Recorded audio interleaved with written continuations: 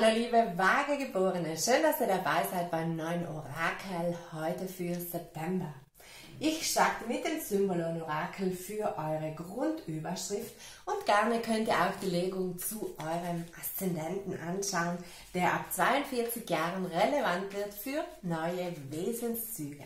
Ich bin mir sicher, ihr spürt immer mit wegen der Rollen, die können vertauscht sein, also Mann, Frau, gleichgeschlechtliche Partnerschaften und wenn ihr während der Premiere mit dabei seid, dann kommt mit unten in den Superchat.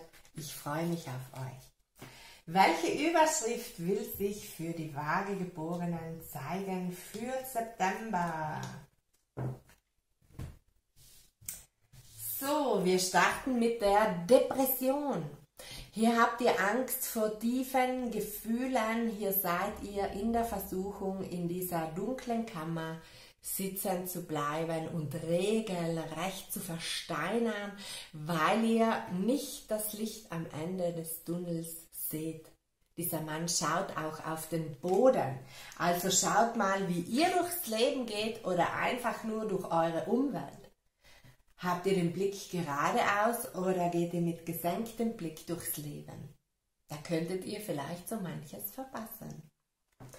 Dann haben wir die Scheinheiligkeit. Also hier dürft ihr euch entscheiden, wählt ihr die dunkle oder die helle Seite.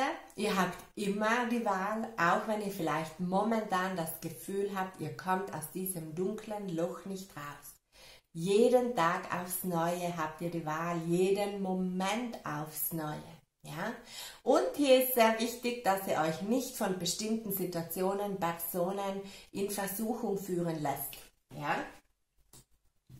Und der Ausgang ist die Seelenverbindung. Hier werdet ihr euch mit Gleichgesinnten verbinden, vielleicht Familie gründen, vielleicht ein Projekt in die Welt rufen, vielleicht ähm, eine Firma gründen. Also hier sind mehrere Menschen auf Seelenebene verbunden und entwickeln oder schöpfen ist noch viel besser gesagt, etwas Drittes. Was dieses Dritte auch immer sein mag. Ja? Also hier jedenfalls ist eure Seele gefragt und wenn ihr der nicht Achtung schenkt, werdet ihr depressiv, liebe Waagegeborene. Und wir schauen uns jetzt die Details im Zigeuner-Orakel an. Ja. Wir haben hier zweimal plutonische Dämen liegen. Pluto prüft immer die Unterwelt. Ja ob ihr da nicht irgendwo festhängt vielleicht. Ja? Im September macht den Mittelpunkt der Legung das Geschenk. Einerseits auch bereichernde Zeiten, eure Talente. Vielleicht schenkt ihr eure Talente, vielleicht werdet ihr beschenkt, vielleicht sind es materielle Geschenke, vielleicht sind es Gefühle, die ihr teilen möchtet. Denn diese Karte ist sehr gefühlvoll, sehr liebevoll. Vielleicht habt ihr euch da bestimmten Gefühlen verschlossen. Könnt ihr Geschenke annehmen oder macht ihr lieber Geschenke? Also dann übt mal die gegenüberliegende Seite, die ihr gar nicht mögt oder könnt. Dann haben wir das Glück daneben und die Witwe. Also hier geht es um glückverheißende Geschenke, vielleicht von einer Frau, die hier im Reifeprozess ist, vielleicht von einer Mutter, vielleicht seid ihr das Geschenk oder könnt die Geschenke nicht annehmen. Schaut mal, in welcher Position ihr, ihr euch hier wiederfindet. In den Gedanken haben wir die Beständigkeit. Ihr habt den Wunsch anzukommen im Leben, beständig zu werden. Auch Verbindungen sollen standhaft sein und nicht immer hin und her oder on und off. Und es ist die stärkste Berufskarte im Deck. Ja? Vielleicht habt ihr hier auch eine Entwicklung im Berufsleben, wo ihr immer mehr Bereicherung erfahrt oder das haben wollt, denn es ist ja auf der Gedankenebene. Im Unterbewusstsein haben wir das Unglück. Das bedeutet für mich, dass ihr hier einen großen Umbruch erfahren werdet und dass es in herausfordernden Zeiten oder trotz herausfordernder Zeiten immer wieder zu Geschenken kommt, dass Situationen zu Geschenken werden, es hängt von euch ab, wie ihr diese Herausforderungen meistern werdet. Ja? Dann haben wir in der Vergangenheit die unverhoffte Freude.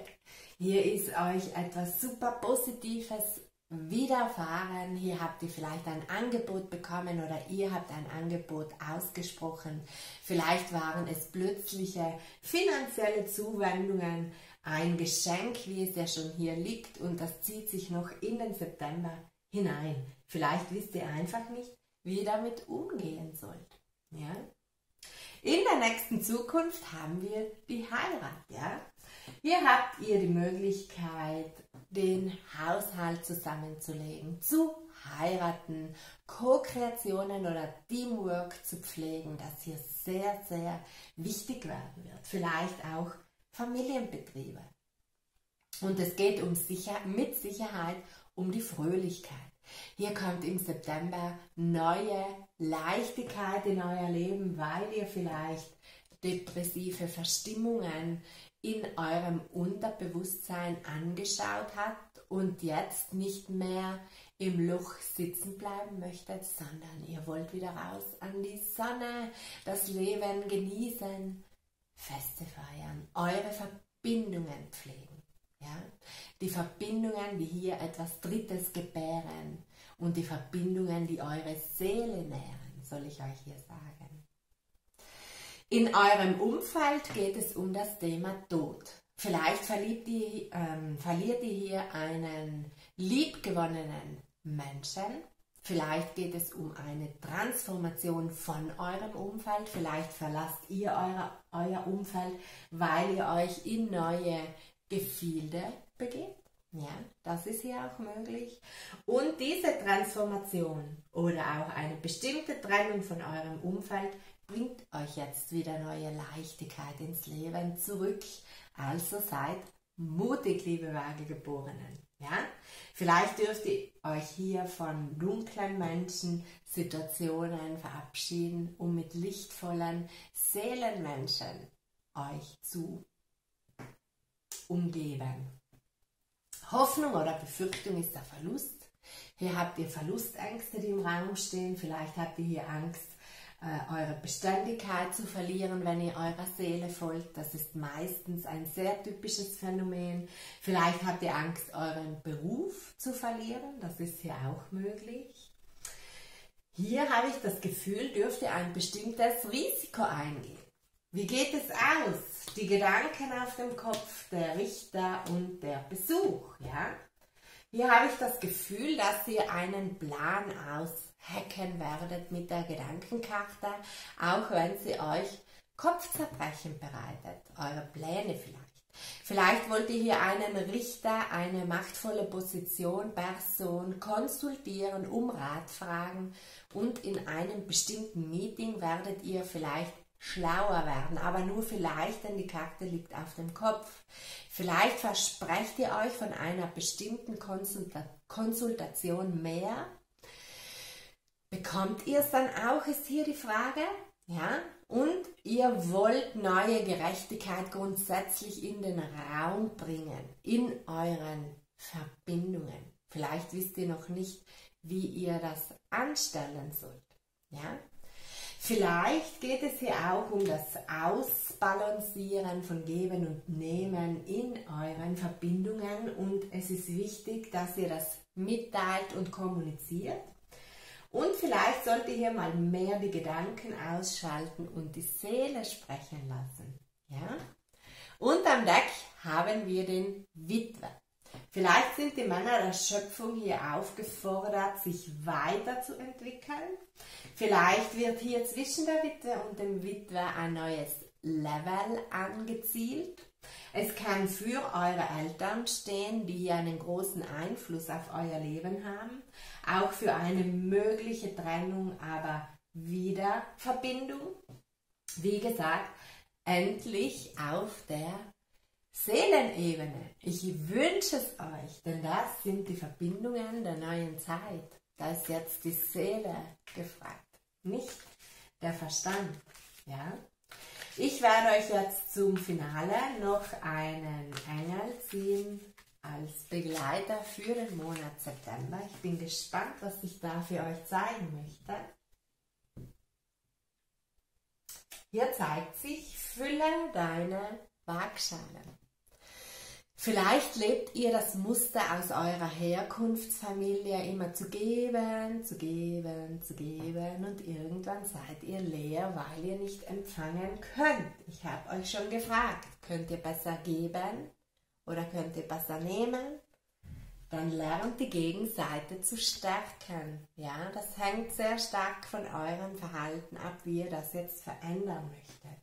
Und hier kommt auf alle Fälle neue Fülle in euer Leben. Wenn der Kinderwunsch im Raum steht, kann auch der jetzt endlich in Erfüllung gehen, sollte es sich darum handeln. Auf alle Fälle geht in die Fülle und bleibt nicht im Mangel sitzen. Auch nicht im Opfertum. Ja. Die Opferitis humana, wie der Veit Lindau so schön sagt, ist ja eine weit verbreitete Krankheit. Lasst euch von der nicht auffressen. So würde ich es formulieren. Mit diesen Worten schließe ich ab. Ich hoffe, meine Worte konnten euch inspirieren. Ich danke euch wie immer für jeden Daumen hoch, für jedes neue Abo, das eingeht, für all eure lieben Kommentare, wie es euch auf eurem Weg ergeht. Für private Legungen und freiwillige Spenden findet ihr die Infos wie immer unten in der Box und ich freue mich schon aufs nächste Mal mit euch. Alles Liebe, eure Sandra.